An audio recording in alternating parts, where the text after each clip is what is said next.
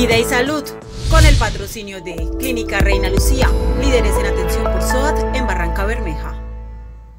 El reporte de las autoridades de salud indican que en los registros del pasado lunes no hubo fallecidos por causa de la pandemia del COVID-19 en el distrito de Barranca Bermeja. El número de nuevos contagios es de 9 personas en 6 mujeres y 3 hombres. En total, son 158 los casos positivos por coronavirus en la ciudad, con reporte de 10 nuevos recuperados de la enfermedad. Las autoridades sanitarias insisten en no bajar la guardia en la aplicación de las medidas de protección y el autocuidado, así las cifras de contagios, hospitalizaciones y fallecidos haya disminuido en forma considerable.